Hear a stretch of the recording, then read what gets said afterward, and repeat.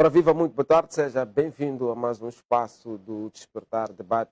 Estamos a 20 de setembro do ano 2022. É mais um dia em que vamos levar até si pontos a, a merecerem análise aqui por parte uh, do nosso painel, pontos que uh, mexem com a sociedade uh, moçambicana. Como tem sido habitual, terça sim, terça sim, trazemos até si três temas e hoje vamos olhar em primeiro para a questão da Covid-19 na província de Sofala, onde nenhuma família eh, eh, eh, vulnerável já recebeu o subsídio da Covid-19.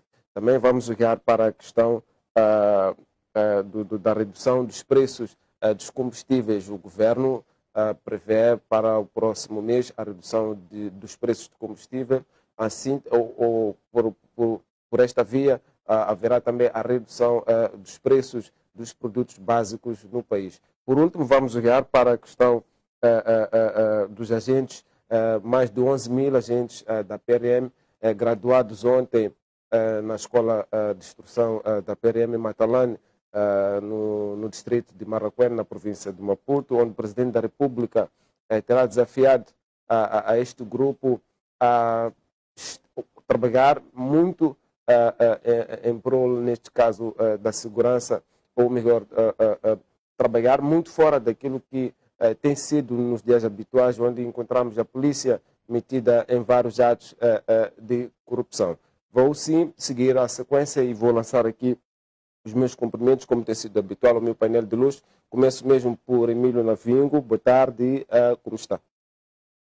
Boa tarde, muito obrigado. Estou bem, graças a Deus. pode sim também deixar ficar o seu ponto prévio para hoje. Obrigado. Eu tenho como meu tema, o meu ponto prévio, a nomeação do Presidente da República, o chefe do Estado, a título de Dr. Honoris Causa.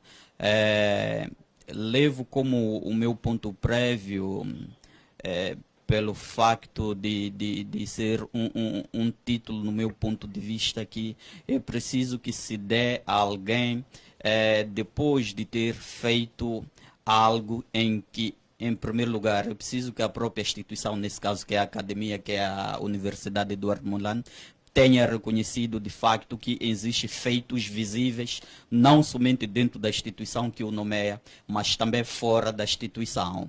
Digo que, portanto, pelos olhos da sociedade, é preciso que também haja esse reconhecimento. Ora, estamos a dizer que o presidente da República ele foi nomeado como doutor honoris causa, mas veja só que quanto aquilo que são é, é, é a própria a, a, a execução dele é, é, nessa área ambiental são, são, são, são, são, são atividades que não são muito bem visíveis. Por isso, até aqui temos dificuldades mesmo imensas de perceber qual quais são os indicadores, quais são os motivos que levaram, dizer, portanto, que fosse nomeado como doutor honoris causa. Então, é preciso que, que, que, no meu ponto de vista, quando está para se dar esses títulos, antes haja mesmo uma, uma, uma investigação muito profunda para que não confundamos esses títulos com, com espécie de uma prostituição acadêmica.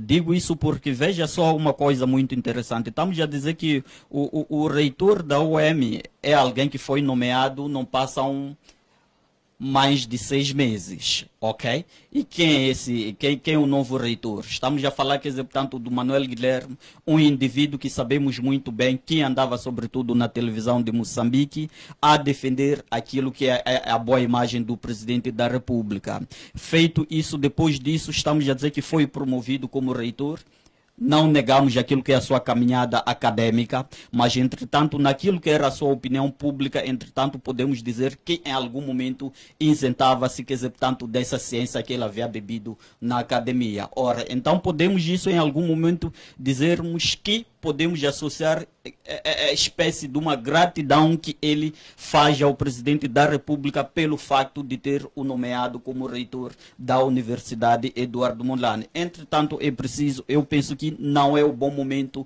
é, a se dar esse título, deveria se deixar, quer dizer, tanto que cessasse as funções como presidente da República, depois poderia ser nomeado. Por que, que eu digo isso?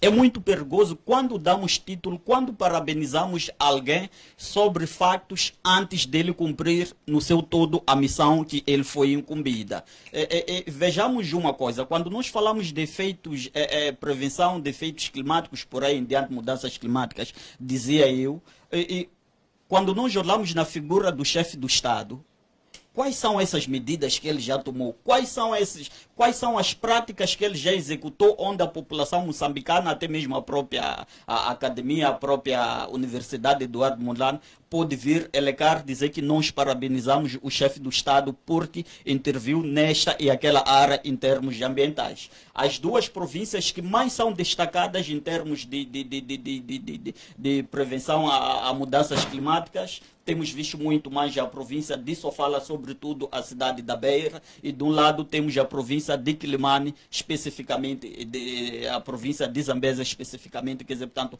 a cidade de Quilimane. Ora, em termos, quer dizer, portanto, do próprio presidente da República, temos visto muito pouco. Aliás, o que tem se visto mesmo são escândalos. Escândalos relacionados, quer dizer, portanto, com, com o tráfico da madeira, devastação das florestas, por aí em diante. Não temos visto uma mão dura, entretanto, daí, quer dizer, portanto, eu coloco como meu ponto prévio devido a essa dúvida que, que, que existe. Muito bem, vamos seguir a sequência. Vou saudar agora o meu uh, segundo painelista, Samsudin uh, Mutuk, uh, boa tarde, como está? Também pode deixar ficar o seu ponto prévio. Boa tarde. Em primeiro lugar, agradecer eh, pelo convite e saudar os meus colegas eh, de painel. Antes eh, do meu ponto prévio, gostaria de estar aqui a endereçar os meus parabéns a toda a Federação eh, de Boxe eh, de Moçambique eh, pelos prêmios que foram ganhos durante esta semana que terminou que, que, que terminou há, há, há, dias. Então eles merecem os meus parabéns é, porque fizeram um, algo muito positivo. São várias medalhas, principalmente uh, de ouro. O, que eu tenho como ponto prévio é a, a retrospectiva e perspectiva sobre os congressos da Frelimo, tendo em conta que já estamos próximo ao próximo congresso da Frelimo, que vai iniciar por aí dia 23, se não estou em erro. Uh, então, nós temos que olhar para o passado, uh, para quem tem servido os congressos uh, da Frelimo, quais são, tem, tem sido os seus objetivos. Será que isso consegue ajudar a solucionar problemas da cidade, tendo em conta que a Frelimo é o partido que está no poder, é, quer dizer, tem a, responsabilidade uh, das vidas de mais, de mais de 30 milhões dos moçambicanos. Uh, eu acho, na minha, quando, quando faço uma retrospectiva, olhando para o passado, uh, eu acho que os primeiros dois congressos foram mais excedidos em relação aos outros congressos, tendo em conta que nos primeiros, que é 62 e 68, estamos em um período de luta, de luta, de luta de libertação, e apesar dos seus problemas é, que houveram no diante, diante é, desses congressos, porque foram um congresso realizado em meio de tumultos, não são assim congressos também muito limpos, fala-se daqueles fraudes que houveram, é, em 68 também haver aqueles problemas, até realizar esse congresso em Machete, afirma, há crônicas sociais que afirmam que há alguns indivíduos que queriam que o congresso fosse realizado é, na Tanzânia, mas outros puxaram para Machete, para Machete, em Niança, uma das zonas uh, ditas libertadas na, na, na, naquela altura de guerra. Esses primeiros dois congressos foram congressos de sucesso, mas chegamos ao, ao terceiro congresso, congresso uh, da socialização uh, do, do, do, partido, da criação do, do Estado único. Uh, este congresso, inteiro, do ponto de vista econômico, uh, puxou Moçambique uh, para um colapso e não só do ponto de vista econômico, também levou Moçambique para uma guerra que já estava espreita uh, devido à má gestão da, da, da, do, do, dizer, uh, do, do, do, Estado, da, daquelas, de, de, todos os condicionalismos que haviam sido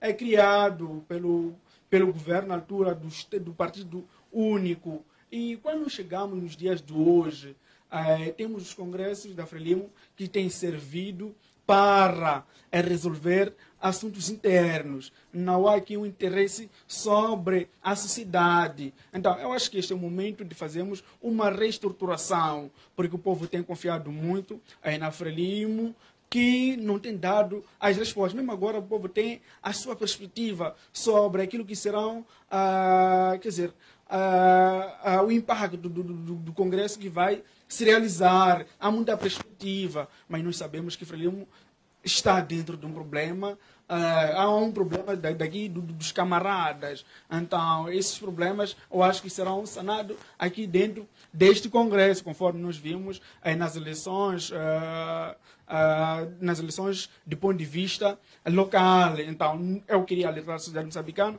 que não vamos esperar muito quanto a este Congresso.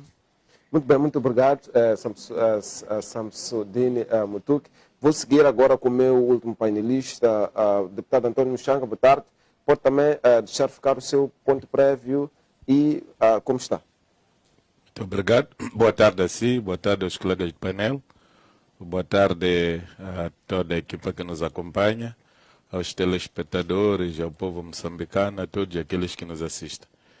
É, primeiro, agradecer a Deus por tudo quanto tem feito por nós o dom da vida, a proteção e apresentar sentimentos de pesar às famílias que choram, sobretudo a família do senhor Abraão Isaías Xixuale, que faleceu quinta-feira no Hospital Provincial de Maputo, que foi enterrar lá por Xaxai no sábado.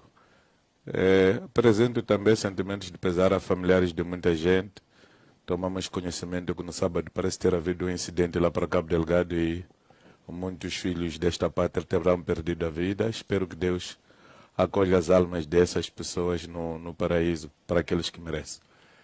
A minha questão prévia está ligada à conservação do lixo hospitalar e das casas mortuárias. Por causa deste infortúnio da morte do Sr. Abrão Xixual, que é meu familiar, e tive a oportunidade de entrar em contato permanente com o Hospital Provincial do, de Amatola, onde fiquei muito envergonhado. Primeiro pela quantidade de lixo que calhei apanhei na incineradora. Depois fui perceber que, afinal de contas, as nossas incineradoras já não incineram lixo. O lixo é carregado, algures, para algum espaço lá da província de Maputo, onde o lixo hospitalar é incinerado no ar livre. Isto é um atentado ao meio ambiente. Eu acredito que lá há pessoas que vivem, há animais, há flora que está lá, que precisa de ser protegida, e nós queremos chamar a atenção ao governo para ver o que é que faz. Porque também não se pode efetivamente dizer que há quem protege o meio ambiente quando anda a fazer incineração de lixo hospitalar eh, num sítio qualquer e, e de qualquer maneira. Da conversa tida, fui perceber que o lixo hospitalar de todos os hospitais é incinerado no mesmo sítio. É só imaginar o lixo do Hospital Provincial do, do Maputo, que só naquele dia encheu o caminhão. Eu vi o caminhão a carregar. Depois tem um hospital Zé Macamo, depois tem um lixo hospitalar de Mavalane, tem do Hospital Central, tem de Zé Macamo, para além de os pequenos centros de saúde que aqui andam aqui na periferia. Portanto, gostaria de chamar a atenção a esse fato. O outro fato, não menos importante, foi saber que as pessoas que trabalham para incinerar o lixo não recebem eh, dinheiro de ajudas de custo. Quer dizer, as pessoas que incineram lixo do Hospital Central vão para o mesmo sítio e incineram, são pagos de ajudas de custa, dizer Macamo são pagos, mas os do Hospital Provincial de Maputo não são pagos.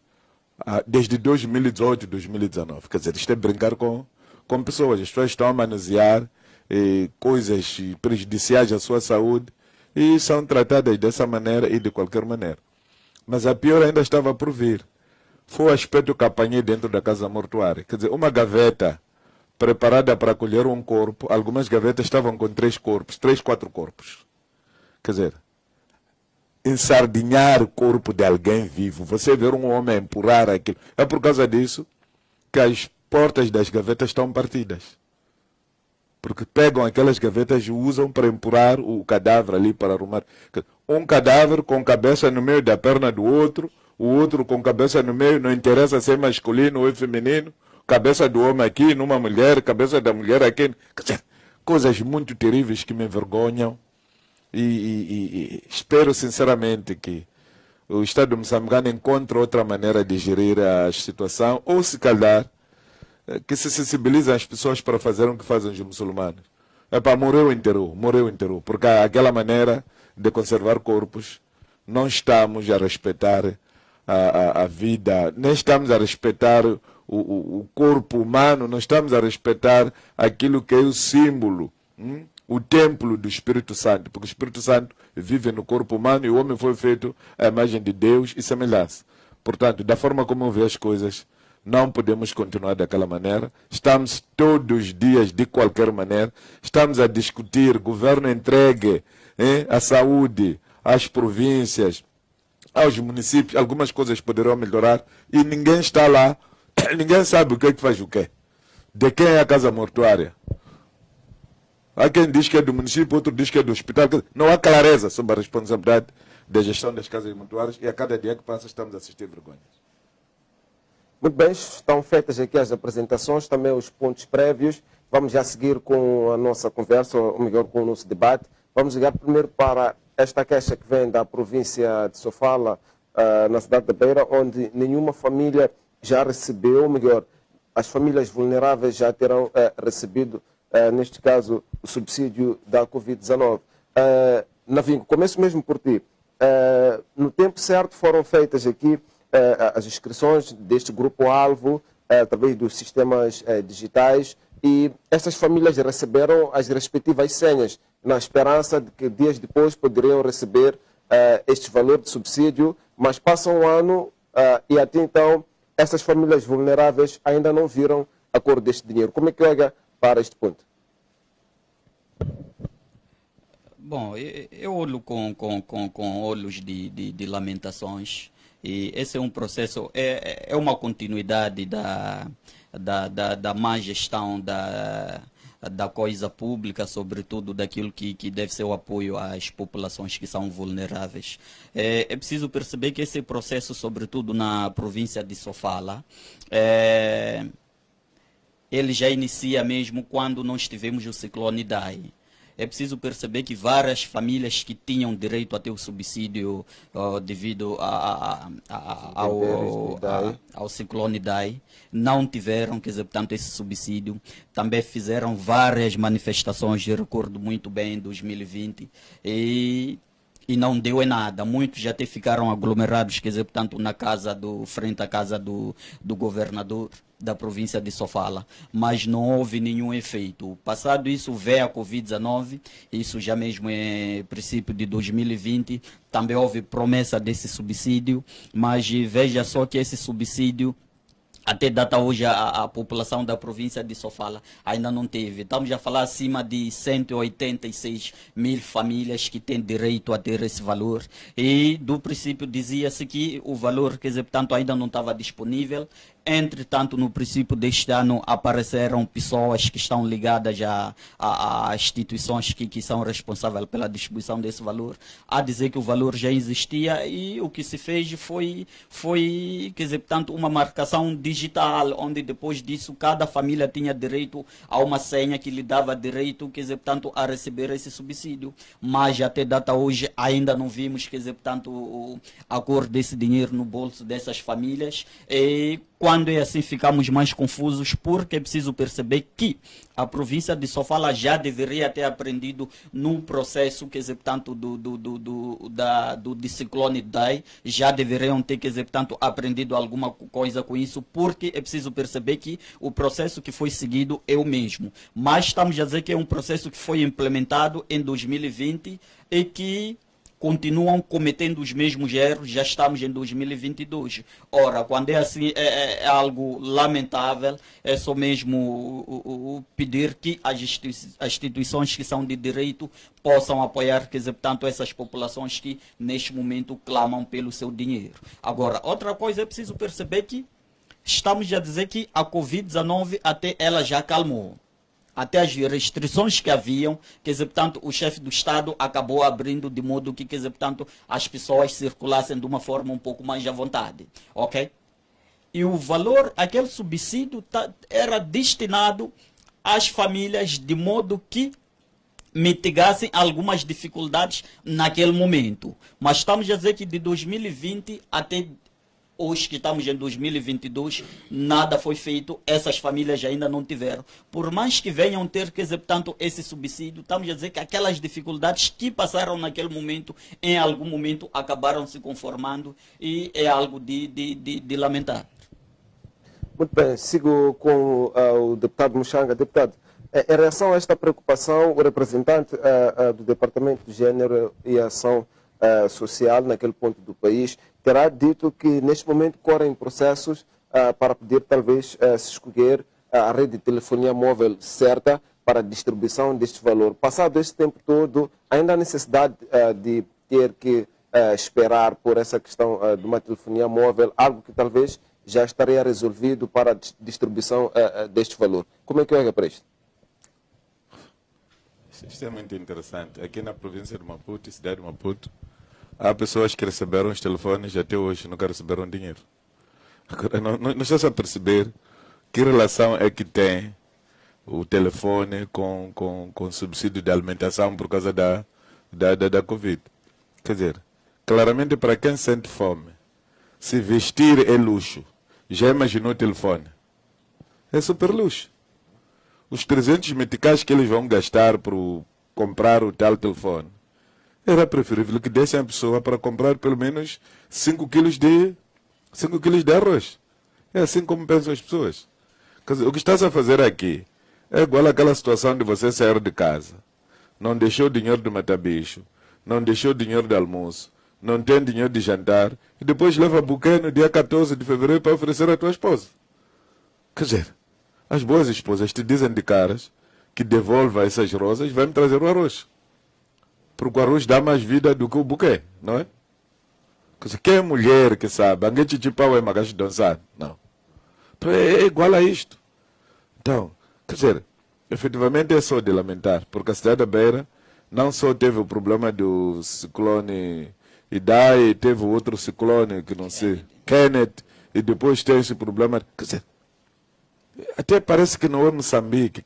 É este tipo de tratamento diferenciado das pessoas que em algum momento cria ira. E aparece aparecer zonas do país onde não se pretende fulano, porque o fulano, depois... Efetivamente o que está acontecendo com esta governação em algumas zonas do país, você não chega a perceber. É? Cerca de 200 mil pessoas passam dois anos. Não, quem, uh, e daí são quatro ou três anos. Exato. Quatro anos. Ainda não receberam. Kennedy são três anos. Ainda não receberam. Covid, este é o terceiro ano. Ainda não receberam. Ainda esperam receber alguma coisa dessas pessoas? Isto é uma brincadeira. É uma brincadeira. Então não podemos continuar a brincar com a bondade do povo moçambicano. O governo precisa de parar. Se há dinheiro, é preciso entregar dinheiro. E tem que saber esse dinheiro quanto é e onde é que está. Se calhar podemos estar aqui a discutir coisas que já não existem. Porque nós conhecemos esses senhores da Frelimo. São muito bons nessa coisa de surpear coisas que não são deles. A grande atividade que a Frelimo conhece melhor é essa. Aliás, recordo-me que numa reunião interna da Frelimo, alguém esteve a, a, a, a comentar que levantou um camarada lá e disse, porque um camarada disse, ah, para temos que parar com a corrupção, sei lá, kkk. Então levantou lá um camarada a dizer, pá, se é problema de corrupção, então todos nós estamos aqui nesta sala, vamos à cadeia, incluindo o senhor que está a falar aí. Eles andaram a fazer pacto com a corrupção, porque é a forma como eles vivem. Então, o deputado cogita que este valor da Covid-19, mesmo para a província de Sofala, já, não, já não, pode é não existir. Na província de Sofala, há muitos sítios. Aqui na província de Maputo, aqui na cidade de Maputo, Há muitas pessoas. Aquele Luís Cabral, aqui atrás do cemitério, pode girar de apanhar pessoas com telefone que até agora estão à espera. Uma pessoa que nem tem energia em casa dele, como é que vai carregar o tal telefone para esperar do dinheiro? Uma pessoa que não tem um metical, 10 meticais para comprar pão. Onde é que de arranjar crédito para meter no telefone? Estamos a brincar com coisas sérias. Uh, Samsudin, oh, como é que olha para este atraso que uh, já se passa um ano depois de vários anúncios, esta, este grupo-alvo, estas famílias ainda estão à espera de, deste valor, continuam com os celulares, os, os, ou melhor, alguns que já terão talvez recebido os telemóveis ou esperança de receber, uh, continuam com, com, com, esta esperança acesa e este valor não uh, está a chegar. Como é que olha para isto? Alguns já morreram, telemóveis já foram enterrados com eles. Exatamente. É uma questão, na verdade, muito interessante do ponto de vista social e do ponto de vista da administração, da gestão uh, do, da máquina do nosso, do, nosso, do, nosso, governo. Uh, isso acontece numa altura em que Moçambique é liderado por campeão de desastres, uh, que foi nomeado pela União Africana, uh, por Dr. Honores Causa, em matérias. são matérias, matérias. Eu acho que são muito, muito, muito próximas. Então, se nós tivéssemos, na verdade, um líder que é campeão de desastre, que ainda o seu governo, o seu elenco ainda não conseguiu sanar problemas eh, da Covid que são de 2019 e 2020. Então, nós não vamos esperar é muito em que, que haja solução é, para este problema. Eu venho falando há anos sobre a gestão a, de Covid em Moçambique, porque Moçambique foi de uma maneira muito diferente é, do, no, no, no, no, no, outros países. E, e, posso dar exemplo da África do Sul. Nós sabemos quando saímos, é, quer dizer, dentro de, de, de, de, de Covid, nós tivemos uma economia é, muito devastada, mas não vimos em uma mão do governo a prestar apoio para aqueles empresários que estiveram, é, quer dizer, muito mal em tempo é, é de, de, Covid. Então, se o governo não teve essa capacidade é, de animar a economia, que é um setor muito fundamental para o desenvolvimento do nosso país. Não vamos esperar muito uh, para que haja solução hoje para a província de Sofala, em especial, em especial a cidade da Beira. Conforme dizia aqui o colega Muxanga, uh, nós temos, pode até se ocultar cidade de Maputo, Gaza, mas quais são as famílias que receberam nessas províncias? Eu vejo, quer dizer, eu conheço muito bem a realidade da cidade de Maputo e da província de Gaza. Eu conheço a, família. Não, existem em, famílias em que existiam mais de três, quatro pessoas a receber este fundo uh, de Covid. Mas noutras famílias, aquelas que não são muito conotadas do ponto de vista social, não têm nenhum poderio, não tinham, uh, quer dizer, uh, não, não, não, era, não, não tinham benefício uh, desse, desse valor do fundo de Covid. Então, essa não, não é só questão específica da cidade e província, da cidade da Beira e a província de Sofala. É questão de todo Moçambique. A maior parte dos moçambicanos, a maior parte das famílias vulneráveis não receberam o fundo donativo do Covid. Muito bem, Navingo. Uh, acha que me, uh, concorda com essa necessidade de ter que de ter-se que uh, olhar ainda para a questão dos telemóveis, uma vez que as famílias estão registradas, os líderes comunitários, as, as autoridades locais conhecem muito bem essas pessoas, por que não talvez fazerem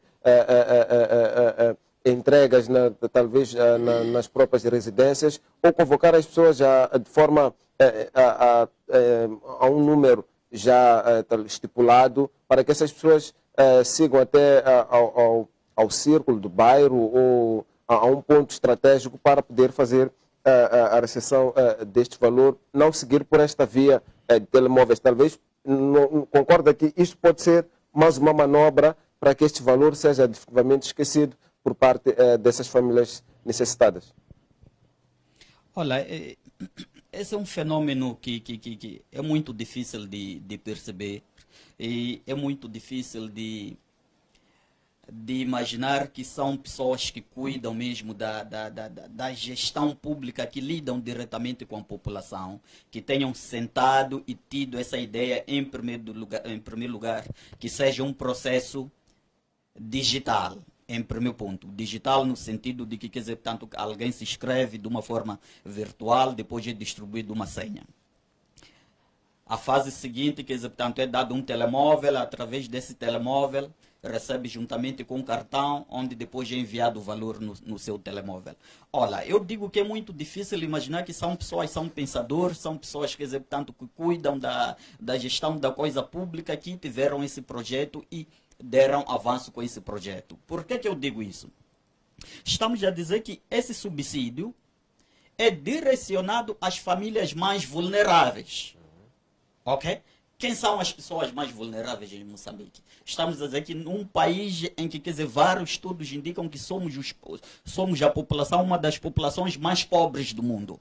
Ora, em primeiro lugar, em Moçambique estamos a dizer que acima de 50% da população existem indícios de que não tem documento de identidade, BI. E para poder ter um cartão hoje em dia de telefone, de telefonia móvel, de uma operadora, é preciso que se inscreva, é preciso que tenha BI, é um Exato. ponto. A população mais vulnerável, estamos a dizer que é a população mais suscetível a não ter um documento de identidade. É essa população, quer dizer, portanto, que se deu um telemóvel e se condiciona, quer dizer, portanto, para que tenha, que tenha vamos lá, essa, a, a, tal dita senha. É uma coisa que não faz absolutamente sentido. Não percebo por que é que se seguiu por esse processo. Outro aspecto, estamos a dizer que o nosso país ele está organizado de uma forma estrutural, onde começa da base, lá de 10 casas, depois temos o chefe de quarteirão, temos os, os, os chefes de postos, por aí em diante. Ignorou-se todo esse processo, tendo em conta que estamos a dizer que a nossa população existe uma certa complexibilidade, por quê? Estamos a dizer que eu, como chefe da família, posso ter duas, três esposas, ok? Eu hoje posso estar aqui, Amanhã posso estar naquela aldeia, posso estar naquele distrito, porque tenho várias famílias. Ora, qual é o processo que nós vamos seguir para poder ma mapear, para podermos ter esse cuidado, de modo com que, quer dizer, portanto, a mesma família não receba esse subsídio várias vezes? Eu não percebo. Mas quando nós tivéssemos seguido aquele processo tradicional, onde, em primeiro lugar, vai se ter com chefes de quarteirões, vai se ter com chefes eh, secretários do bairros, por aí em diante, os chefes das localidades. Eu penso que esse processo teria sido mais, mais eh, lúcido, mais limpo, mais claro, ok? Mas não é esse processo que se seguiu. Por que, que não se segue esse processo? no meu ponto de vista, porque existe aquele hábito que nós temos de lobismo. Nós sabemos que quando vai se é, é, é, fala-se como operadora de telefonia móvel, em primeiro lugar, há um concurso que é feito. Nesse concurso, para poder dar acesso, quer dizer, tanto a uma determinada operadora que faça a gestão disso, é preciso que pague alguma coisa, porque também vai se beneficiar. O segundo ponto, a instituição que vai distribuir, quer dizer, tanto os telemóveis, também aí existe alguma comissão que deve ser passada. Então, é um processo, no meu ponto de vista, uma burocracia que é criada ela de propósito para que os funcionários, os agentes públicos que, quer dizer, portanto, que estão dentro desse processo também saiam ganhando alguma coisa, porque, quer dizer, portanto, a burocracia, nós sabemos muito bem, quando ela é mais feita, acaba tendo como consequência a corrupção. Então, eu penso que foi mais ou menos nesse sentido. Ora, aliando a isso, é preciso perceber que também os estudantes do ensino superior são vítimas desse tipo de processo. Em 2020 foi lançado um projeto de um estudante, um computador, para poder dinamizar o ensino híbrido. Até data hoje, nenhum computador já viu a cor desses computadores. Apareceu há pouco tempo, eh, pensei que, que, que, que, os responsáveis pelo ensino superior a dizer que, portanto, que já foi já foi lançado já foi lançado quer dizer, portanto, um concurso para que, que, que se adquira esses computadores mas nem água vai nem água vem. Então para dizer que são vários processos. A população da província de Sofala são simplesmente uma gota no oceano de vários processos que nós temos em Moçambique mal parados. Muito bem. Sim, pode, pode ser realçar? um pouco em relação à pergunta que coloca o meu colega aqui em relação aos líderes locais. Exato. Eu diria que esses indivíduos conhecem muito bem a sociedade. Então, essa toda a burocracia, eu acho que para mim não tem nenhum peso. É mais uma, é mais uma daquelas manobras, porque quando eu tempo de obrigar a sociedade, aquela que faz, outra nem faz parte do partido poder para pagar a cota, vão de casa em casa e cobram a cota de todos os indivíduos é de, de, dessas famílias aqui. Então, esta burocracia toda de querer ter que se registrar, parecendo que o líder local não conhece ah, os seus, aqueles vulneráveis. Então, para mim, isso é uma, é uma manobra, porque quando é tempo de cota, Nós sabemos que cota paga quem tem cartão como membro, mas a população que paga cota sem pertencer a, nenhuma, a, nenhum partido. Isso acontece em Moçambique, principalmente no sul de Moçambique. Há essa obrigação para a sociedade moçambicana. Muito bem, deputado. Olhando mesmo para a questão do, do, do uh, Mutuque, a questão do, do, da, das cores partidárias. Há relatos uh, de que há famílias uh, uh, na, na, província de Sofala que não pertencem ao partido no poder, não receberam esses valores por estas vias. Temos em registro também uma situação que aconteceu na província de Nhembane no ano passado, onde houve reclamação por parte dos líderes de alguns partidos que reclamavam a questão de não estarem a receber este valor porque não pertencem ao partido no poder. Como é que olha para, este ponto? Bom, é, é, é assim. Uh, para quem não percebe melhor o sistema, aparenta, entre aspas, que se discriminam aqueles que não são do Partido Frelimo. Mas, na verdade, esses senhores estão a roubar tudo que é dos pobres. Depois de criar esta primeira discriminação, que é de não dar os que não são do Partido Frelimo, e que depois não devolvem essas coisas ao patrocinador ou ao doador, porque o doador dá ao povo moçambicano, não dá Frelimo nem dá Arnam, dá a todos. Depois há discriminação entre eles. Entre eles próprios, lutam por causa deste tipo de, de, de, de situações. Entre eles próprios. Por isso a primeira lista, a segunda, a terceira. Dizer, à medida que vão fazendo a lista. É uma forma de haver aqui manobras. Já estão a funilar estão afunilados. Mas se você for a ver, é que nas próprias listas, você é o número um que você de apanhar lá. É um dirigente da Frelimo. Eu tive situações em que fui para Monapo por causa desta depressão tropical que houve. Exato. Fui encontrar uma situação muito interessante. A pessoa que encabeçava a lista dos vulneráveis é o antigo administrador de um distrito que vive em Monapo até registrado com direito a chapas de zinco para habitar. Tem uma casa de alvenaria, em lugar de luxo na cidade. Fui visitar a casa dele. A casa dele não teve nem sequer uma racha. A casa, da casa não teve nenhuma racha. Eu, número um na lista. Entretanto, aquelas pessoas que não tinham teto, que viviam na escola, que essa escola também nem tinha teto, viviam embaixo do cajueiro da escola, não estavam a receber nada. Este é que é o problema de fundo. Exato. Então, o que, o que se faz quando há, há, há estes apoios é o que se faz na pocilga. Não sei se alguma vez já teve a oportunidade de visitar uma pocilga. Quando se serve comida. Quem come primeiro é o chefe. Depois o adjunto-chefe. Depois, assim sucessivamente. Os mais novos são apunhalados. Para dizer que, depois de discriminar aquele que é população simples, depois segue o membro simples da Frelimo, depois é o chefe de bloco que é discriminado, depois é o chefe do quarteirão que é discriminado, depois é o secretário do bairro que é discriminado e fica o primeiro secretário, esse que é o membro do partido é que se beneficia. Pergunta aqui, a cidade de Maputo e Matola estão a pagar subsídio ao secretário do bairro. Qual é o papel do secretário de bairro? O que, é que o secretário de bairro faz melhor do que o chefe do quarteirão? Quem faz a verdadeira gestão das pessoas no bairro? Quem faz a gestão do pessoal no bairro é o chefe do, do quarteirão. Mas o que, é que o chefe do quarteirão recebe? Nada.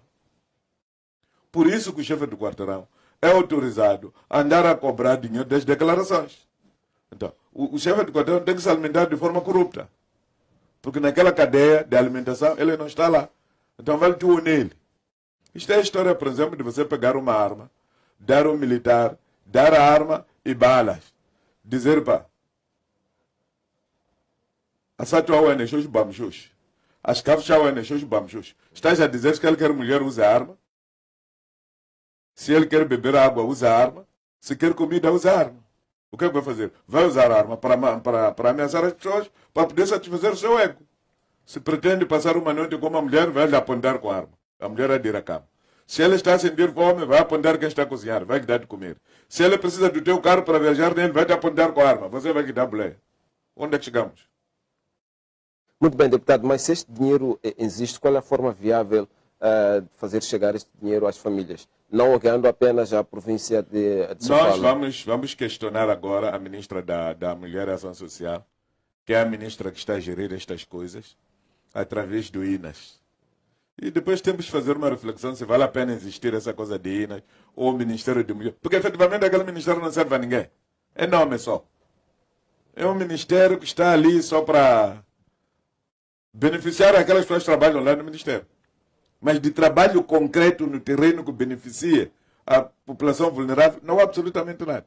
Se você for a ver quanto dinheiro aquela gente de INAS gasta para a sua deslocação, eles, quando saem ajuda de custo de um deles, são 6 mil meticais. Tem que ser motorista, tem que ser chefe disto, chefe daquilo. Quando são poucos, já andam três. Quando são muitos, já andam quatro.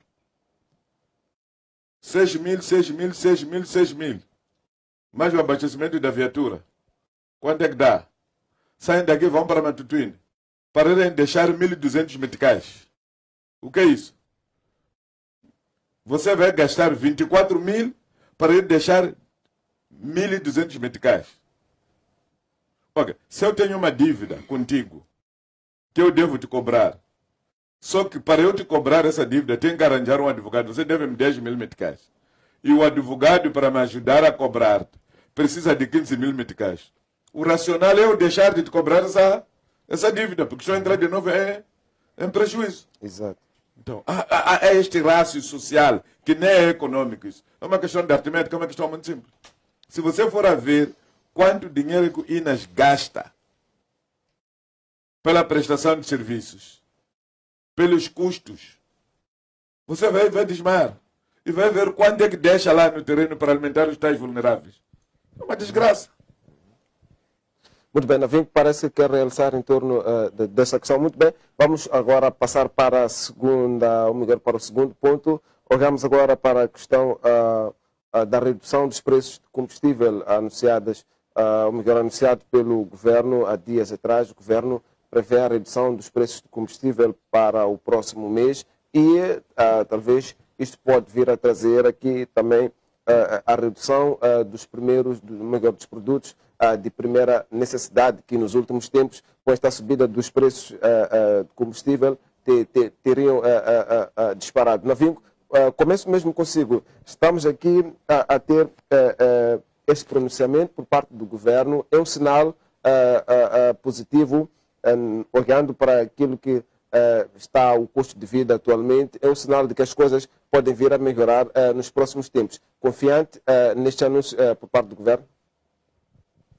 Bom, é um anúncio que, que deixa todo o povo moçambicano com, com, com muitas expectativas no sentido positivo de que preços, eh, sobretudo de, de, de necessidades básicas, podem, podem vir a baixar, assim como a situação do transporte, onde, sobretudo na Maputo, em Maputo província, assim como cidade, eh, existe ameaças de subida caso não haja, quer dizer, portanto, esse subsídio de transporte, que veja só que temos essa situação de, subi, de subsídio do, dos transportadores que também não sai. Eh, Penso eu que todos nós eh, estamos expectantes, mas eh, eh, é preciso que tenhamos muita cautela, penso eu que é preciso que tenhamos muita calma, porque o facto de, de, de ter havido esse anúncio não é, não é algo oficial. É preciso perceber que o governo ainda não saiu oficialmente, quer dizer, portanto, a dizer que haverá a redução desse, de, de, preços de, de combustível. É o primeiro ponto. E a segunda coisa é que quando nós olhamos eh, eh, um bocado de uma forma superficial na própria economia, podemos nós nos aperceber que quando preço de um determinado produto que, que, que, que, que é um dos principais, como, como o título de exemplo do combustível que aqui estamos, estamos, estamos a debater, sobe, automaticamente tudo que depende do combustível também acaba subindo, ok? Acaba havendo esse efeito dominó. Mas, entretanto, da mesma forma que subi, da forma que subiu, não é da mesma forma que os produtos descem quando o combustível desce. Ok? Já não é da mesma forma. Então, é preciso que nós tenhamos muita atenção nesse aspecto, porque nós precisamos perceber que de 2020, quando iniciou a pandemia, houve a subida, do combustível, alegando-se essa situação de que o mercado estava fechado, então havia dificuldades para poder importar o combustível. 2021 tivemos a guerra, o início da guerra, quer dizer, portanto, da Rússia-Ucrânia. Também houve essa subida do combustível. Hoje estamos por aí, fala-se mais ou menos de uns 86 meticais por litro de combustível. Ora, estamos a dizer que de lá de 2020 até cá deste lado, em 2020 estávamos por aí, o litro de combustível andava na margem dos 60 e tal, caso eu não esteja errado, até cá deste lado. Estamos a dizer que por mais que o governo, quer dizer, portanto, venha a reduzir o preço de combustível, não será mais ou menos na mesma proporção que o combustível subiu que subiu. Então é preciso que tenhamos muita cautela, muito, é preciso que saibamos ter muita calma nesse momento, porque pensei que não será mesmo nessa expectativa que, que nós como cidadãos estamos. O Navingo está a querer afirmar aqui que o governo, por parte do, do, do, do, ministro Max Tonella, terá aparecido apenas para entreter ou talvez estar aqui a trazer uma falsa esperança para o povo moçambicano? Eu penso que não é falsa. É, é, é, não, não é uma falsa esperança, mas ele respondeu, pensou perguntas de jornalistas. Ele pensou que não esteve ali exatamente para comunicar, mas entretanto, como estava numa reunião, saindo, tinha que dar alguma justificação à pergunta feita pelos jornalistas, quer dizer, portanto, ele acabou dizendo que sim, o barril, quer dizer, portanto, de, de, de crude acabou baixando mais ou menos para 91, aproximadamente 90 a 92 dólares em Londres, mas isso não significa que a redução do nosso combustível cá deste lado de Moçambique será mais ou menos na mesma proporção. Olha só que em 2021 estamos a dizer que o barril de petróleo andava mais ou menos a uns 70, 74 meticais em Londres. Até cá deste lado o preço máximo subiu mais ou menos até os seus 139. Exato atualmente anda ronda por aí mais ou menos nos seus 91, 92. Estamos a falar de 2000, e, aliás, dia 16 e 17. Andava mais ou menos nessa margem de, de, dos 92. Ora, de 2021 até cá deste lado subiu mais ou menos de, de, de, vamos lá, de, de, dizia eu, dos 70 e tal até 139. Agora estamos na margem dos, dos, dos 90 e tal estamos a dizer que também a descida não será mais ou menos nessa proporção. Então é mais ou menos essa lógica que eu uso para dizer que teremos uma descida, mas a descida não vai fugir muito da margem talvez de uns 79 meticais, 80 por aí em diante. Muito bem, deputado Michanga, sigo, uh, sigo mesmo consigo.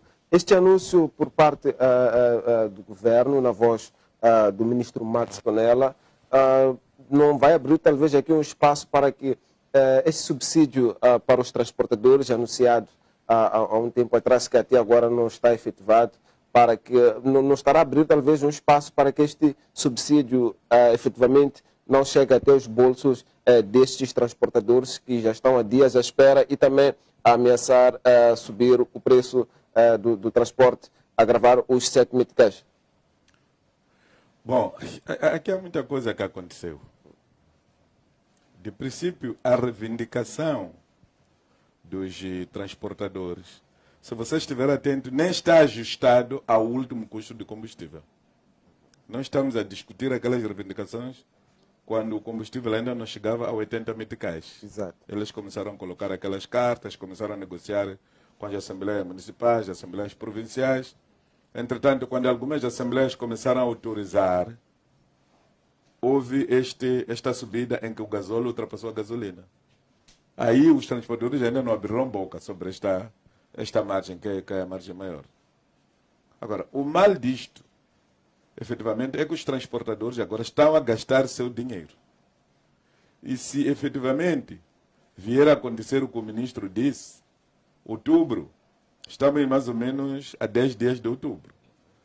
A ter que se concretizar isso, mesmo que o combustível a chegue a 50 meticais, tem que se recordar que os transportadores viveram estes últimos meses, até este mês de setembro, sobre forte, pressão. pressão. Exato. Então, como compensar a eles? Porque há uma máxima em Xangana que diz que a dívida não apodrece. A dívida é como problema. Atimagati bule, esconeta bule. Está a ver? Então, e como, como compensar a eles?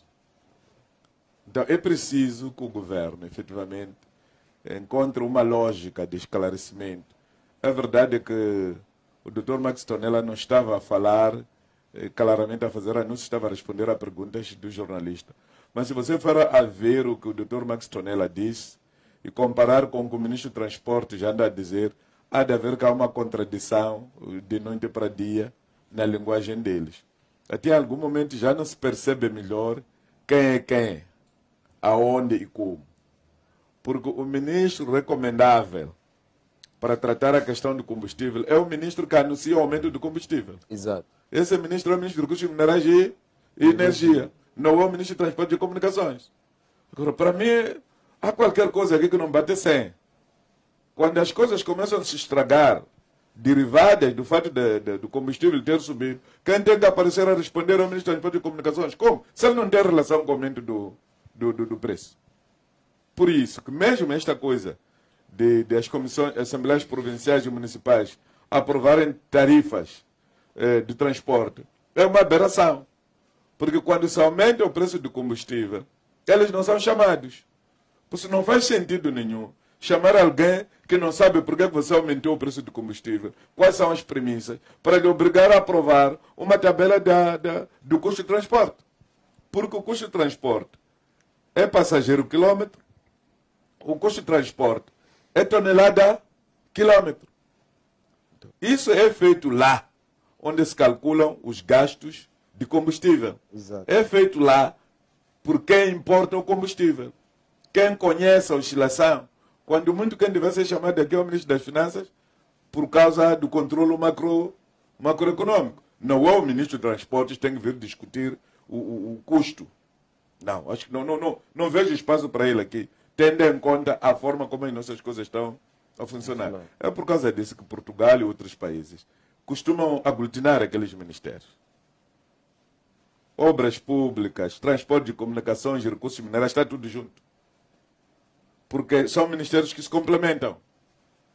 São ministérios que se complementam. Agora nós quisemos destrinçar, depois acabamos criando confusão nas pessoas, que essa confusão só acaba aldrabando os mais fracos, que neste caso são os transportadores.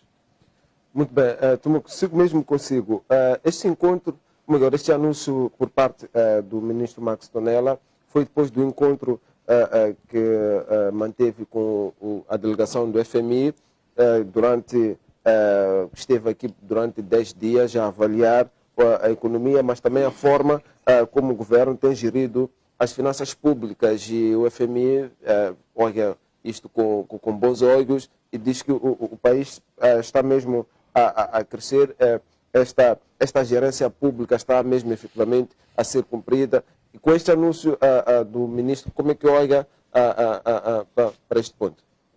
Oh, mais uma vez, quando nós olhamos para o governo, há uma situação que eu havia alertado há dias para a juventude. Uh, que a cada semana o governo tem tido, quer dizer, a moda de, de, de entreter a juventude, a sociedade, trazendo um assunto para o debate e às vezes é, nos distraímos naquilo que é o essencial. Para, para, para, para, quer dizer, para exigir daquilo que são Uh, quer dizer, os cumprimentos do governo uh, diante da, da, da, do, do, programa quinquenal do governo. Então, a, a, a, cada semana podemos reparar isso. Sempre haverá um assunto por se debater, porque o ministro Fulano eh, falou disso, o ministro Fulano falou disso. Uh, há dias o próprio, não sei, não sei se estou erro que, que me cruze, o, o próprio Max Tonella falou do Tsu, que ia sair em outubro. Conforme dizia aqui o meu colega Muxanga, outubro é daqui a 10 dias. Uh, ainda não se debateu este assunto no parlamento. O governo diz que mandou, já mandou o documento para o parlamento para ser debatido tenho a máxima certeza que até outubro não vai se conseguir resolver essa situação. Quer dizer, foi, uma, foi o primeiro entretenimento. Na outra semana vem já, quer dizer, afirmar que haverá redução, quer dizer, há probabilidade da redução do preço é, do combustível. Nós, o que, quer dizer, o que poderá dizer aqui para a sociedade, nós devemos saber que o preço do combustível nem sempre foi estático no mercado internacional. Ah, tem, temos observado, para o caso do Portugal, que temos aquelas similaridades, ah, nós podemos ver que o preço do combustível às vezes sobe, às vezes desce, mas em Moçambique, quando sobe, fica lá estático, mas há momento em que há uma pequena redução no mercado internacional e aqui não se faz a sentir. E há, há, um, há um outro problema que podemos analisar do ponto de vista interno, ah, quando quando provavelmente haverá esta redução. Uh, esta redução não significará uh, diretamente proporcional à redução dos, dos bens alimentares, que são uma necessidade para a população moçambicana. Uh, nós vimos quando foi o momento de, uh, quer dizer, de aumento do combustível. As gasolineras em, em 24 horas alternaram o preço. Nós ficamos aqui a questionar, será que uh, o combustível uh, que, quer dizer, que vem da rua, não, que vem, vem do mercado internacional é, da, da, da, da, Europa, já chegou a Moçambique para se alternar o preço uh, de, dia pro, de, de um dia para o outro? Então, uh, indo já na, na, questão da redução, não será a mesma coisa. Pode haver esta redução, não será significativo, não vai resolver as questões uh, sociais, conforme mencionava aqui o colega Mulhanga, uh, que nós já temos uma sociedade que já foi lesada, muito lesada uh, por esta subida do preço dos combustíveis. Não só o chapeiro, também estamos falando de toda a sociedade moçambicana, porque a sociedade moçambicana usa o meio de transporte, quer seja particular, que já está sendo, quer dizer, castigada por este, por, quer dizer, por, por este aumento. E o governo sempre veio é, com muitas propostas que não são cumpridas do ponto de vista social, econômico e também no âmbito é, dos transportes. Ah, já estamos aqui a reclamar, ah, quer, dizer, o, quer dizer, o transporte público, onde dizia que o governo iria introduzir o cartão FAMPA para poder subsidiar o povo. Mas se nós sairmos aqui à rua na 24 de julho, observarmos aqui que são mais bombo de transporte público, nenhum deles tem aquele cartão a funcionar. Não só nos transportes públicos, mas também nos semicoletivos. Nos, nos transportes semicoletivos. Então, não há, quer dizer, o governo não consegue criar aqui condições para beneficiar o cidadão, para beneficiar aquele indivíduo que cumpriu é, a bicha para a eleição, provável eleição deste governo que está a gerir a, a, coisa pública. Então, como o chefe de Estado, sendo ele empregado do povo, ele tinha que se preocupar em responder às necessidades da sociedade. Mas não é o que está a acontecer. Não estamos a ver, estamos a ser entretidos, falaram de famba, falaram de subsídio e nada disso aconteceu até os dias de hoje. Muito bem, deputado mas, mas, Há uma outra questão. Nós vamos agora aprovar o Plano Econômico Social e o orçamento para o próximo ano. O que é que vai se usar? Vai se usar a referência do barril de combustível, o preço que estará a ser praticado em novembro e dezembro. Logo, se eles conseguirem, por exemplo, baixar 10 meticais, significa que o litro de combustível lá de ir mais ou menos a 77 meticais. Significa que todas as pessoas têm direito de subsídio de combustível. Vão receber dinheiro em função disso depois de janeiro ou fevereiro, de novo o preço há de voltar a, a disparar. A, a voltar a disparar. Quando as pessoas foram reclamar que o orçamento do combustível que receberam pouco, o orçamento já foi, já foi aprovado pela, pela, pela, pela Assembleia.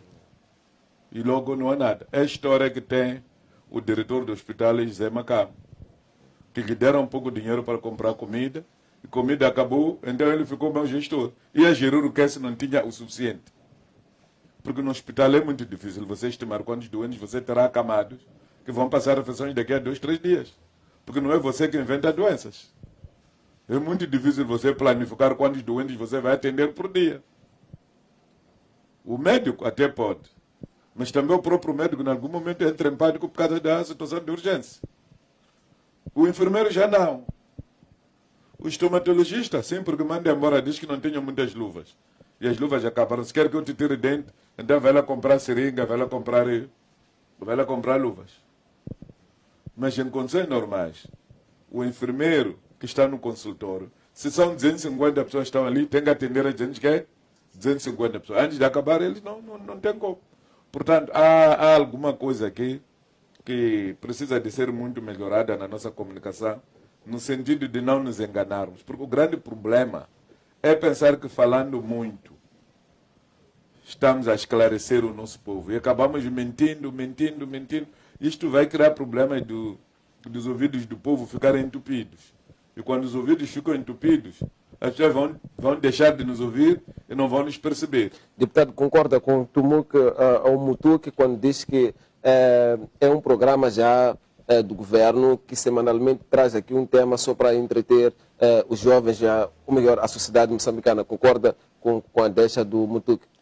Bom, não, não, concordando como não, é um ponto de vista que precisa de ser respeitado e precisa de ser observado.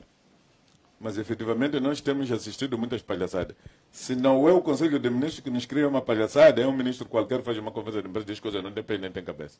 Se não é isso, é o porta-voz do, do, do Comitê do Partido Frelimo em nome da reunião da Comissão Política das quartas-feiras. Sempre tende a haver alguma coisa aqui que nos tira do sério para andarmos entretidos em coisas que não têm nem tem, nem tem cabeça. Muito bem, Navingo, uh, volto mesmo uh, para si. Uh, o, FMI te, teria anunciado também que as medidas de contenção, melhor, para alavancar a economia anunciadas em agosto último pelo presidente da República, Felipe Nunes, estão de encontro às diretrizes traçadas pelo FMI. E este anúncio pode vir, talvez, pode ser um, um dos resultados por parte desta, deste anúncio feito pelo, pelo Presidente da República, destas medidas anunciadas por ele. Este anúncio por parte do Ministro Max Tonella pode vir, ou melhor, vai ao encontro deste anúncio feito pelo Presidente da República na, na sua análise.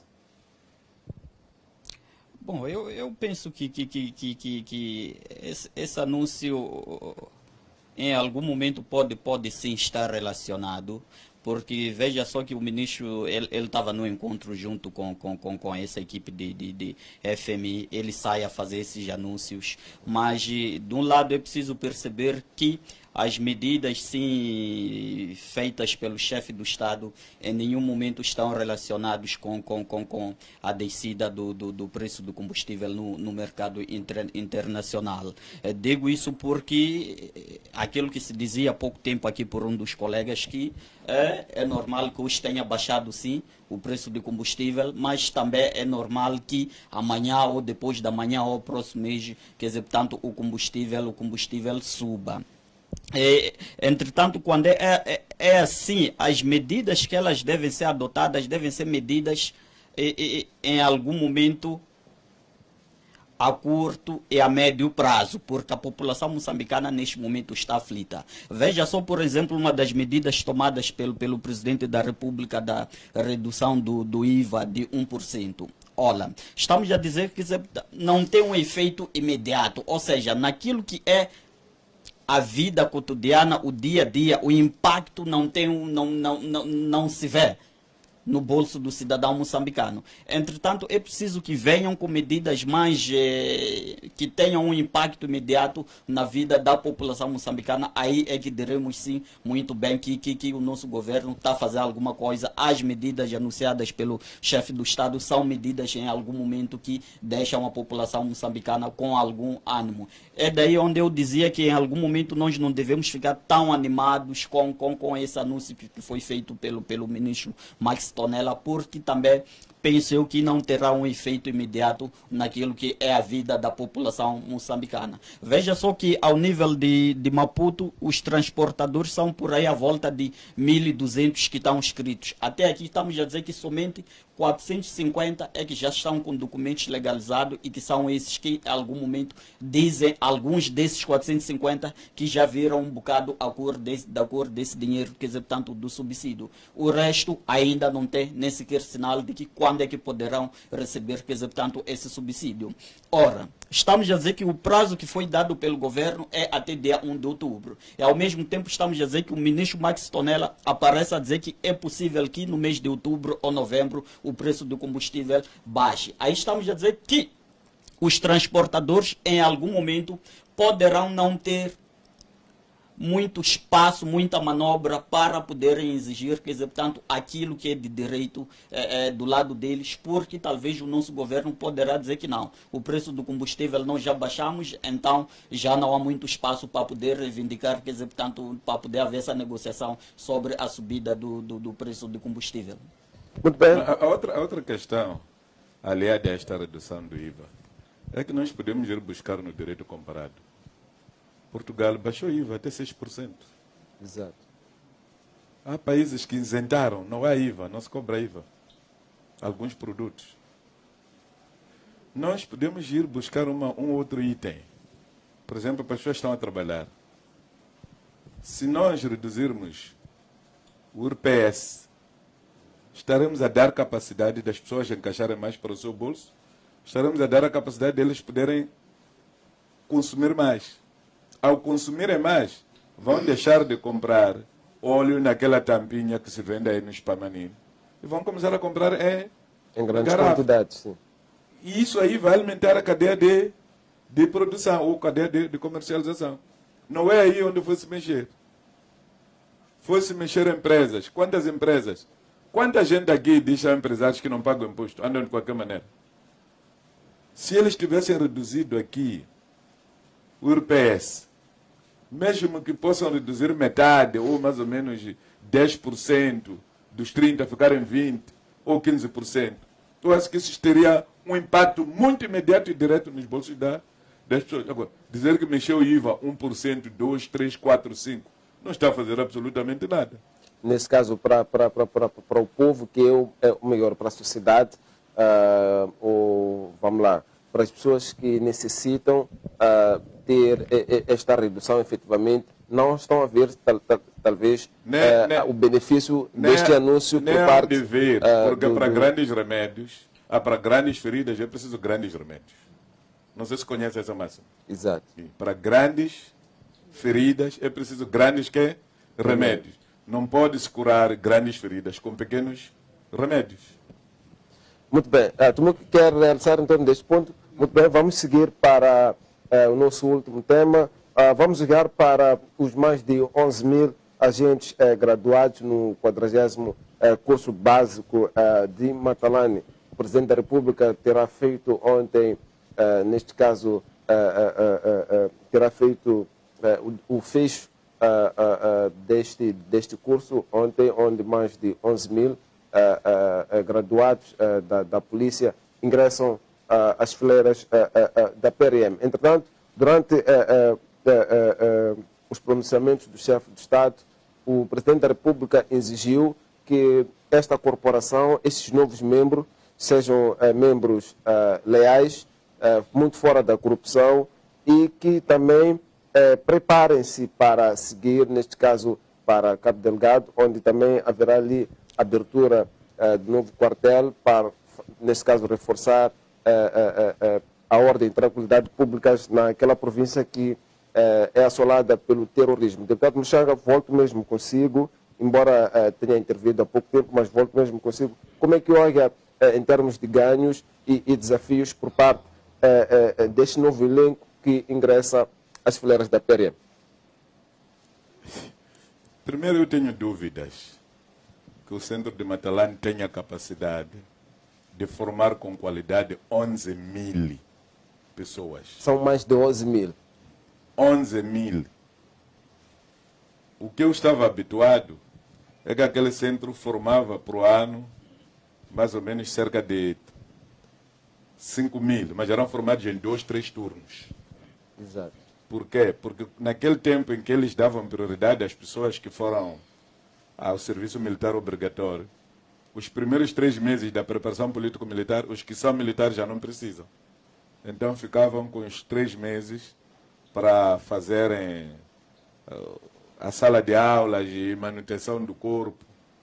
Então era possível que no primeiro trimestre ou até o segundo saísse um turno, no segundo saísse o outro e até dezembro também saísse o terceiro, o terceiro turno.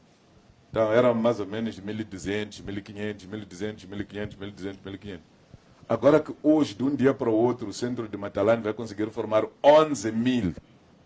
A primeira questão que se levanta é qual é a capacidade do centro de Matalane? Eu conheço Matalane. Não estou a ver capacidade para colocar ali 11 mil pessoas, serem bem instruídas e saírem como as normas recomendam. Por isso que eu sempre defendi que seria bom que voltasse a abrir a escola de formação da polícia em Nampula, porque o espaço até existe, que se voltasse a abrir o centro de formação da polícia em Sofala, para se formar a nível, a nível regional. Aí Certo. sim eu Haver essa descentralização por parte de formação. Sim, sim, sim, sim. A mesma coisa que estamos a fazer com os militares. Nós temos um centro de instrução militar aqui em, em, em temos outro em, em, Sofala, temos outro centro de formação em Cabo Delgado, é muito peixe. Então, pronto, as pessoas são selecionadas, são misturadas e vão fazendo, vão fazendo as coisas. Agora, trazer-me uma fífia de conseguiram formar com qualidade 11 mil polícias, chama brincadeira. Nós a ser verdade é que estas pessoas, na sua maioria, vão ser levadas para as zonas operacionais, nós podemos correr muitos riscos. Segunda questão que eu verifiquei é que há muita juventude, há muitos adolescentes nessas pessoas formadas. Não estou contra. Mas considerando que alguém recebeu aos 17 anos, aos 18 é tempo de, de seleção, aos 19 vai cumprir o serviço militar. Eu estaria muito satisfeito em ver quem tem 22, 23 anos entrar na polícia. Porque consideraria eu que aos 17 anos recenseou, aos 18 fez prova de seleção, aos 19 foi incorporado, foi cumprir serviço militar. 19, 20, 21 e aos 22 anos está a voltar, não é isso? Agora, Exato. a forma como eu vi as coisas deixa muito a desejar. E aí, depois vem uma máxima. Quem são? Na sua maioria, são filhos de oficiais superiores da polícia. Filhos de oficiais superiores das Forças Armadas de Defesa de Moçambique. E esses talvez podem não ser alocados a essas Não hão de forças ir esses. Os próprios locais. pais vão aconselhar a eles a não ir. Agora mesmo, vai começar a confusão. Aquela gente toda vai precisar de ficar aqui na cidade de Maputo. Aqueles que não couberem na cidade de Maputo vão preferir estar na Matola, Boane, Maracuene. Aqueles não de aceitar. Quando muito manhissa. Não vão aceitar ir a, a Magude, não vão aceitar ir a, a Muamba, lá no interior, não vão, não vão aceitar ir a Matutuine, para não falar de Massingiri, Mabalane, Mapai, Esqualaquala, Xigubo e Massanjena. Como falar de Funhalouro, Mabote, eh, eh, Panda, Enhambane. Então, quer dizer, estamos a enganar a quem? Estamos a enganar a quem? Hás de ver mais dias, menos dias. Havemos de vir para aqui para vir fazer o balanço dos 11 mil. Já não teremos 10, 20% daqueles antes de um ano já estarão fora daquilo ali. Porque estamos a enganar a nós mesmos. Então eu acho que devias ter feito um pouco mais. A outra situação que me parentou, não sei como é que pode se resolver isso. É que as pessoas estão lá seis meses. Passados três meses foram apanhadas grávidas. 32 pessoas ficaram grávidas. Esta questão de pessoas que estão no centro de instrução ficarem grávidas. Será que no dia de entrada não fazem testes? Há alguma coisa aqui que não anda, não anda bem. Exato. Quando se diz que 32 cadetes tiveram que abandonar o curso porque ficaram grávidas. A impressão que fica é que foram engravidadas pelos instrutores. Será que, de fato, nós estamos a formar polícia para servir ou estamos a levar nossas filhas para irem servir de almofada para os comandantes? Que disciplina! Essas pessoas, algumas são mulheres de dono. Então, no lugar de ir aprender uma melhor profissão, que é a defesa da, da, da, da ordem pública, né? vão aprender a trair os seus maridos num centro patrocinado pelo Estado. Então, há qualquer coisa aqui que eu acho que tem que, tem que mudar na forma de fazer. Não vale a pena nós anunciarmos números pomposos quando esses números não vão nos render nada. É esta coisa que está a envergonhar Putin agora. Andou a criar um exército ali de pessoas muito mal formadas estão ali a ser capturados pela Ucrânia de qualquer maneira. Aquilo é a pior vergonha que a Rússia está a passar. Porque mesmo toda aquela gente que temia, pensava que a Rússia era grande coisa, descobriu que afinal de contas não há nada. Quer dizer, são chifres do mocho que confundia as outras aves para dar das, penas. Então, Muito bem. eu preferia que a nossa polícia tivesse poucos efetivos, mas efetivos bem treinados, disciplinados, organizados e equipados, do que ter uma suposta população de polícias que, a fim e a cabo, não vai valer nada. Muito bem, Navingo, uh, sigo mesmo consigo, de forma muito breve, como é que olha para este novo número uh, que ingressa para a ordem uh, e tranquilidade públicas, na, ou melhor, não só na, na, na província de Maputo, mesmo para o país todo. Como é que olha para este número em termos de desafios, assim como bons resultados que podem advir?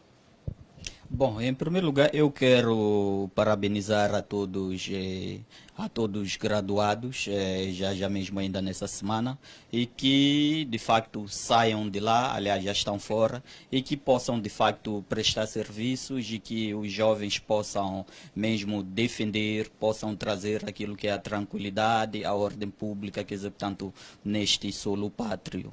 É, é a primeira recomendação que, que, que eu deixo aos graduados. E indo um pouco mais ao fundo, penso eu que quando falamos de graduação, nos submete a uma formação.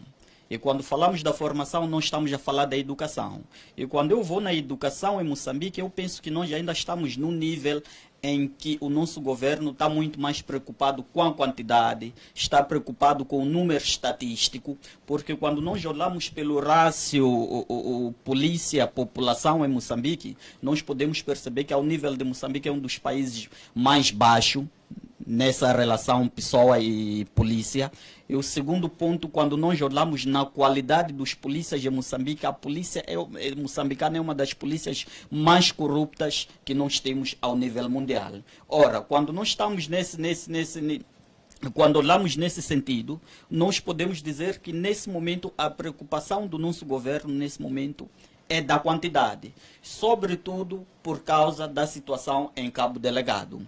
Mas nós devemos ter em mente que a polícia, ela, a função dela não é de lutar contra os insurgentes que andam em Cabo Delegado ou qualquer sítio que possam aparecer em Moçambique, mas sim é de, é de trazer aquilo que é a ordem, é a tranquilidade na via pública, quer dizer, portanto, para que nós possamos andar em segurança. Agora, a situação da luta em Cabo Delegado, por aí outro tipo de conflitos que nós temos tido em Moçambique, essa não é a função da polícia da República de Moçambique. Por isso que é, penso eu que, que, que, os jovens estão formados é, sobre a aparência aquilo que tem se dito dos vários cursos que antecederam este, que, que, que, que portanto, é preciso uma reflexão muito profunda e, sobretudo, é preciso também uma, uma seleção muito rigorosa quando trata-se da seleção dos que farão parte, dizer, portanto, desse, desse efetivo. Mas... Exato não podemos discutir muito isso porque a lei já está lá. Um dos requisitos que é dado é que tem, deve ter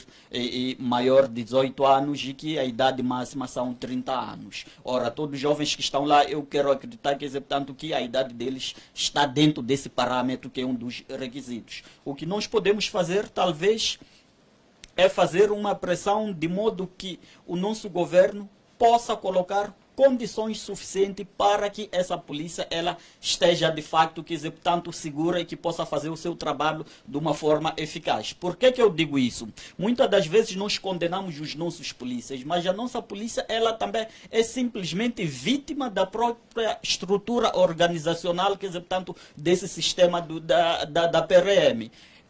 Quando eu falo de dar condições melhores à polícia, não estamos a falar, por exemplo, de armas de fogo. Aquelas armas que eles usam, a nossa polícia, quer dizer, a PRM, veja só que é a mesma arma que os nossos soldados que estão em cabo delegado a combater têm usado.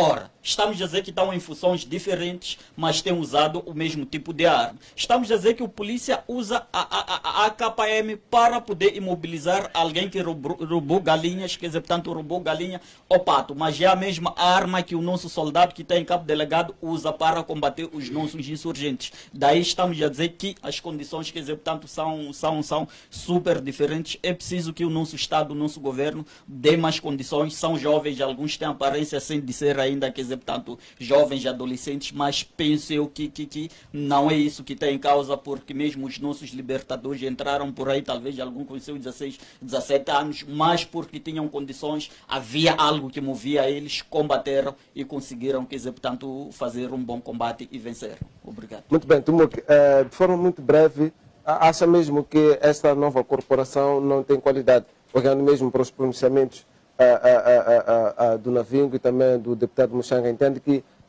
pode-se desconfiar, há espaço aqui para desconfiança em termos de qualidade? É, em primeiro lugar, o que nós devíamos observar aqui é a formação do nosso próprio governo, é como está a ser gerido. Quando nós assistimos à própria palestra, a chegamos a não perceber quem tem maior autoridade e quem tem menor autoridade em termos ah, dos próprios eh, do, dos próprios corpos que lideram a, a, quer dizer, a polícia, estamos a falar da ministra e do próprio comando, comandante-geral da, da, da, da, polícia. Então, ainda há um problema nesse, nesses termos, porque todos são nomeados pelo presidente e outros chegam a não, não conhecer aquilo que são suas reais responsabilidades ah, dentro ah, da, da, da corporação. Este é o primeiro problema que nós podemos observar. Eu sou jovem e também tenho defendido muito a questão de emprego para a juventude, mas também não defendo a forma uh, de, de recrutamento. De, de recrutamento que tem havido. Eu faço parte da sociedade, alguns daqueles jovens eu conheço e às vezes eu conheço a própria ligação familiar. Nós sabemos, nem todos estão ali, é, é, é, é por mérito. Nós podemos provar isso em, em, em termos uh, sociais. Cada um de nós aqui convive com um dos miúdos que foi, um miúdo, um que, exatamente, que foi graduada ainda ontem e podemos mostrar que este é filho do fulano. Isso também vamos uh, alinhando naquilo que era o discurso aqui do meu colega Muxanga e que, que a dia foi, foi, veio aqui um dos comandantes ah, das forças de, de, de, de, defesa de Moçambique, que falava de, do, do, dos ah, militares que não aceitam ir a cabo delegado porque são filhos de chefe. Isso tem, ah, quer dizer, ah, criado problemas para o combate ah, do próprio terrorismo em Moçambique. Então, isso é, isso é verídico. Não é só o colega Mujang que vai reclamar, mas também o próprio, o próprio, o próprio comandante, o próprio um dos generais ah, de, de, de, de alto patente vai reclamar sobre estes problemas. E é isso que nós vamos verificar nos próximos dias. E também, eu acho que isso sempre intensifica a, a, dizer, a própria corrupção no seio da polícia ah, em Moçambique. Eu, eu quero dar um exemplo, Eu sou deputado estou a trabalhar nas leis. O estatuto da polícia diz que vai para a polícia qualquer pessoa que tiver décima classe. É isso. Exato. Mas o estatuto dos bombeiros diz que é admissível para bombeiro a pessoa que tem décima segunda classe. Em matéria de responsabilidade, o bombeiro e o polícia, quem deve ter o maior nível acadêmico? É o polícia. Estes documentos todos saem do mesmo ministério. Estão a ver? Quer dizer, o polícia que é quem instrui o processo. Polícia tem que manter a lei e ordem. Não é apagar o fogo que ele faz. É discutir assuntos sociais, políticos, econômicos, conflitos entre. Quer dizer, é tratado dessa maneira e o outro tem um nível mais baixo. Mas Há muita coisa que podemos contar aqui. É, vamos ter mesmo que encerrar. Estamos já, a, já escassos minutos para o fim do, do nosso espaço. Gratos pela atenção dispensada. Temos com promessa de voltar numa próxima oportunidade. Tchau, tchau. Fique bem.